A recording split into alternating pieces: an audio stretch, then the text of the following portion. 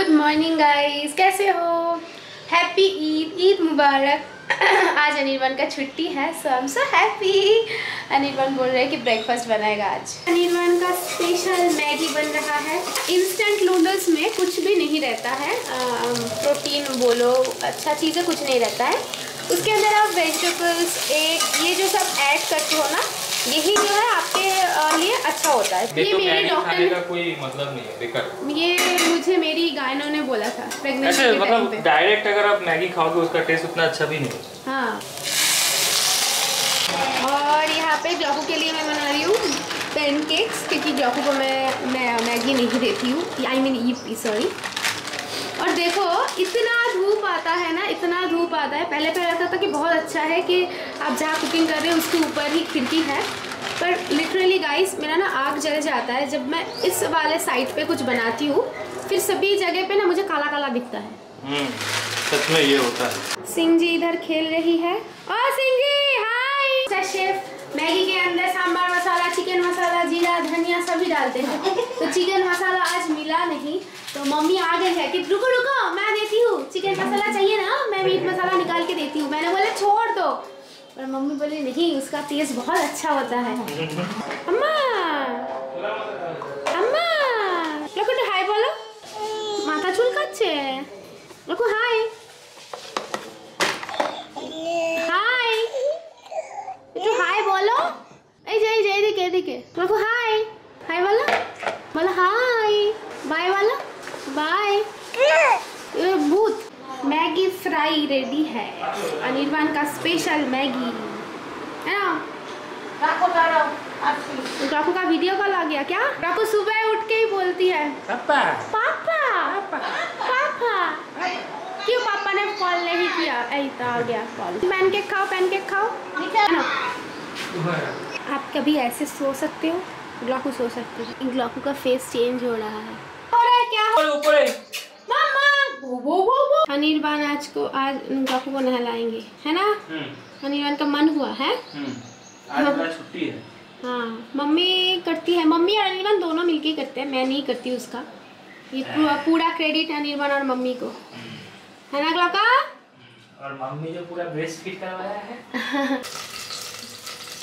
मैंने एक नया फ़ूड प्रोसेसर लिया है तो उसका मैं सब देख रही थी कि क्या क्या बना सकती हूँ कि क्या नहीं उसका वीडियो मैं आपके साथ शेयर करूँगी। सो so, नए घर में सब नए नए चीज़ें रहेंगे और मैं काफ़ी ज़्यादा इलेक्ट्रॉनिक्स और फ़ूड प्रोसेसर ये सब चीज़ कर यूज़ करने वाली हूँ क्योंकि एक तो मेरे पास मेड नहीं है, खाना बनाने का कोई नहीं है और फैमिली बढ़ रहा है धीरे धीरे मम्मी पापा भी आएँगे इन फ्यूचर में।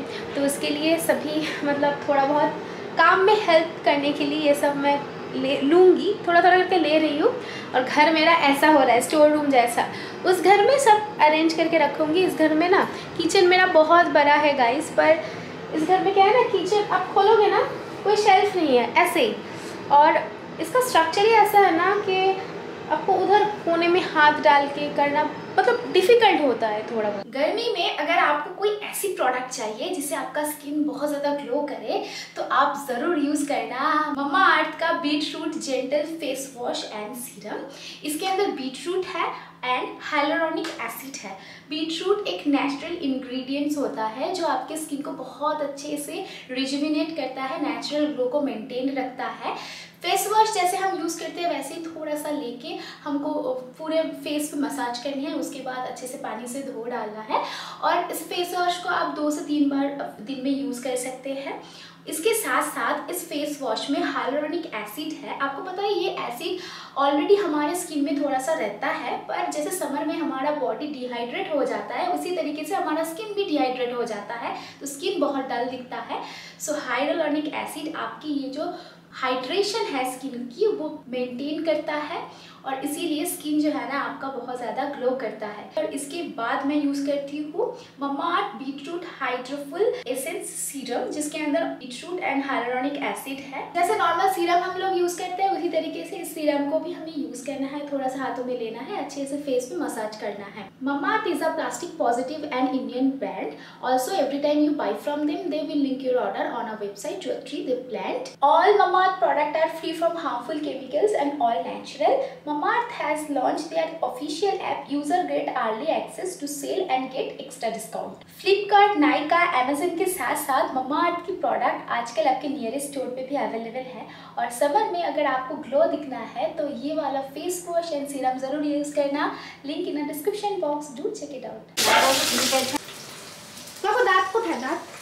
आज मैं राइस कुकर में बनाने वाली हूँ बीट रूट राइस तो ये अगारों की तीन लीटर की राइस कुकर है।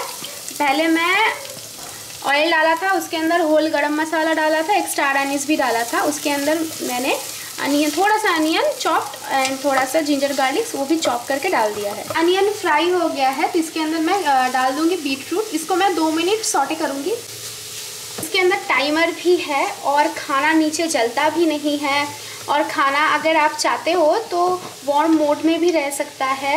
मतलब आपके हिसाब से आप मोड सिलेक्ट कर सकते हो। इसलिए मुझे ये राइस कुकर बहुत पसंद है। नेक्स्ट इसके अंदर सॉल्ट और टमाटो प्योरी डालूँगी। और बस राइस डाल के थोड़ा सा एक दो मिनट सॉटी कर सॉटे करके हम लोग इसके अंदर पानी डाल देंगे। तो मैं राइस का तीन गुना पानी डालती हूँ। तो ये अपने आप बन के रेडी हो जाएगा। कल हमारे घर पे एक पूजा है तो मम्मी के, उसके लिए थोड़ा सा फ्रूट्स लेना था। एक्चुअली घर पे तो हमेशा फ्रूट्स रहते हैं अनिर्बान बोलते हैं, वही फ्रूट्स भगवान को दो। पर मम्मी बोलते कि नहीं भगवान के लिए अलग से फ्रूट लेना है तो वो लेने जाएंगे ग्लॉको कुछ बोलने आई है গ্লাকু শোনো শোনো একটু দেখাও তো ম্যাও বাচ্চা কিরম করে জল খায় বাইরে যাবে ফ্লাইং কিস দাও একটা গ্লক একটা ফ্লাইং কিস দাও বলো তো কোকো কোকো কই ডাকো কোকোকে ওই যে কোকো নিয়ে আসো কোকোকে কোকো? হ্যাঁ ওইটা কোকো। কোকোকে নিয়ে আসো।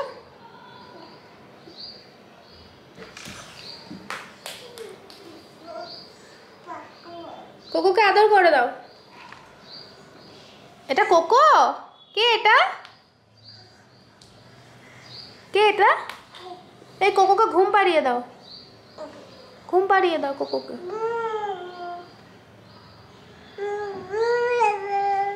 हाँ गान करो, घूम पाड़ो। और ये राइस के साथ खाने के लिए मैंने बनाया है न्यूट्रला और आलू की सूखी सब्ज़ी। मतलब सेमी ग्रेवी सब्ज़ी। ग्लॉकू का एग्ज़ाम चल रहा है ना तो इसीलिए दिन रात पढ़ाई करती है तो ग्लॉकू भी हमारे साथ निकलेगी। तो इसीलिए ग्लॉकू को मैंने पहना दिया है क्लॉथ डाइपर क्लॉथ डाइपर एक बहुत अच्छा ऑप्शन होता है बच्चे के लिए। इसको ना आप एकदम न्यू बॉन्ड से लेके यूज़ कर सकते हैं, क्योंकि बहुत सारे बटन्स हैं इसके अंदर जो है ना, ये चारकोल कलर की एक पैडिंग है। जिससे बच्चा सूसू पॉटी करता है तो उसका स्टेन भी अलग से नहीं रहता है। बस आप वॉश कर लो। और बहुत अच्छा होता है हाइजीन के लिए। लव लैब का डाइपर पैंस है। इसका लिंक मैं डिस्क्रिप्शन बॉक्स में शेयर कर दूँगी। लखू बाय लखू बाय चलो लोगो चलो शॉपिंग करने चलते हैं। फ्रूट शॉपिंग एक गजब का काम किया है। अनिर्बान को बहुत स्पैम कॉल आता है। स्पैम कॉल में जो कॉल करते हैं उनको भी बात करना रहता है और ग्लॉकू को भी दिन भर बात करना रहता है तो ग्लॉकू को दे दिया अनिर्बान ने और ग्लॉकू ने बोला ए, ए, ए, तो काट दिया काट दिया अच्छा মামা হ্যাপি হ্যাপি হ্যাপি হ্যাপি সবার সামার ভ্যাকেশন চলছে এখন তুমি সামারে ঘুরতে বেরিয়েছো যাও যাও শপিং করে আছো इसको हम लोग क्या बोलते बोलो सुबह को सिखाया था বাঙ্গি বাঙ্গি আচ্ছা ও নিতে পারে এটা ওকে হাতে ধরিয়ে দিলে এরকম ভাবে ও হাতে ধরে বসেও আছে आई अनिर्बान बोल रहे ये वाला फेस का हेट ले लो कितना बड़ा था करा ही नहीं है मेरे চার কেজি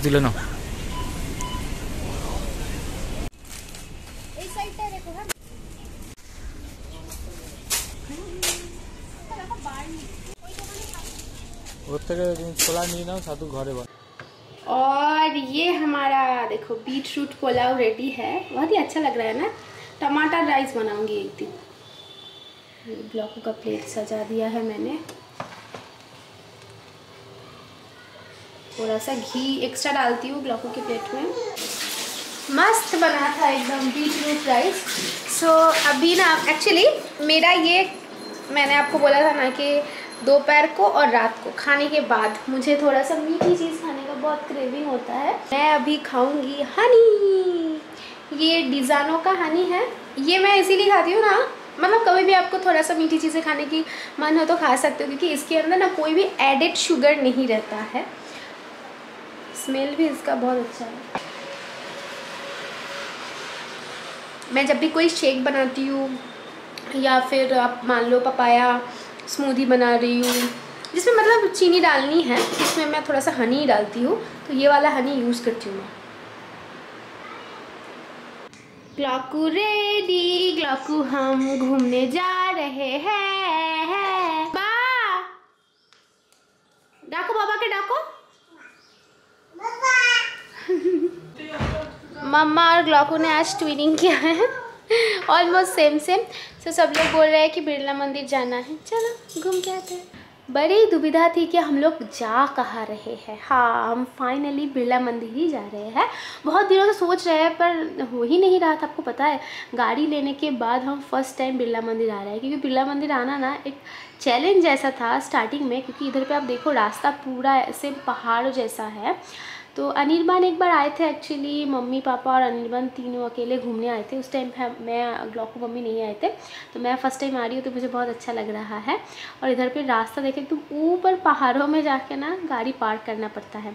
तो ये है बिरला मंदिर, पर एक बुरी चीज़ ये है कि इधर पे अंदर ना कैमरा अलाउ नहीं करते और मेरा बेबी हेयर देखो, कैसा अजीब लग रहा है चाइनीज़ कार्ड जैसा।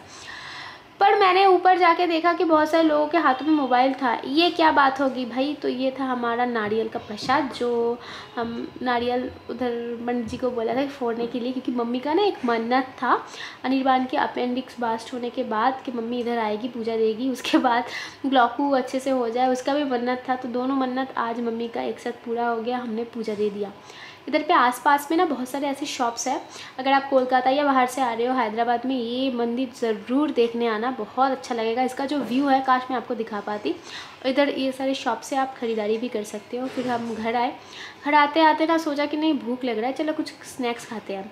तो इधर पे एक स्ट्रीट फ़ूड का एक गली है, बोल सकते हो। मरकम चरू पार्क के इधर। तो इधर पे खा रहे थे। ये कुछ भोपाल का स्नैक्स बोला उन्होंने। ये आलू, मुरमुरा ये सब दे के बना दिया था, पर ग्लॉकू जो है ना सुबह उसके लिए मैंने पैनकेक्स बनाया था, वही लेके आई थी। वो शाम को खाया और थोड़ा सा मैंने रख दिया था हमारे साथ तो वो मांगेगी उसी टाइम के लिए। उसको लग रहा था कि वो मुरमुरा ही खा रहे हैं, पर वो खा रही थी पैनकेक्स ये ओके ओके ही था मतलब अच्छा मुझे तो अच्छा लगा क्योंकि खट्टा था, पर मम्मी को उतना अच्छा नहीं लगा। अच्छा है कि हम एक ही प्लेट करके लेते हैं। ये भी हमने एक ही प्लेट लिया था, क्योंकि बड़ा खाने का मन हो रहा था, पर फुल बड़ा नहीं खाने खाना था, बस थोड़ा टेस्ट करना था ऐसे। उसके बाद हमने ये वाला पटेटो क्या बोलते हैं पटेटो रोल स्प्रिंग रोल क्या बोलते हैं आप लोग बताना एक एक जगह पे एक एक नाम बोलते हैं। भैया ने कुछ बोला नहीं कि इसका नाम क्या है। तो ये हमने ऑर्डर दिया था फ्राई हो रहा था। ज़्यादा क्रिस्पी नहीं फ्राई किया था थोड़ा सा और क्रिस्पी करते तो ज़्यादा बेटर लगता मुझे। तो लोगों को ये देख के इतना मन हो रहा था ये खाने का। उसके बाद आ, सोडा पी रहे थे मम्मी और एनिवन मुझे नहीं पीना था। पता नहीं कैसे कैसे पानी यूज़ करते हैं। मैं थोड़ा सा वैसी हूँ मतलब हाइजीन जो चीज़ देख के गंदा लगता है, मैं नहीं हूँ। तो अनिरमान और मम्मी ने बोला था मसाला तो उन्होंने मसाला वाला बनाया। एक्चुअली मसाला वाला नमकीन होता है और फिर उन्होंने बोला कि नहीं, मीठा भी चाहिए तो फिर मीठा पानी भी डाल दिया। हैदराबाद की सुंदर नज़रिया देखते देखते घर लौटे, फिर सोचा कि सुमन रूपा के घर में जाएँगे। वो लोग आए थे एक दिन, उस दिन मैं बिज़ी थी और उनका हमारा मतलब शेड्यूल ऐसा है ना कि हम मिल ही नहीं पाते और ये वाले घर पे शायद हम लोग पहले पहले रहते थे लास्ट वाले गली में, फिर उनसे होके घर आ गए। सो, घर आ गई हूँ और आपको पता है मेरा ये बेबी हेयर इतना मतलब ख़राब हो गया है अभी। मैं पिक्चर उठा रही थी, इधर से इतना सा बेबी हेयर कैसा अजीब सा दिख रही हूँ। आते वक्त रोटी भी लेके आए हैं। चलो करते हैं। Bye take care good night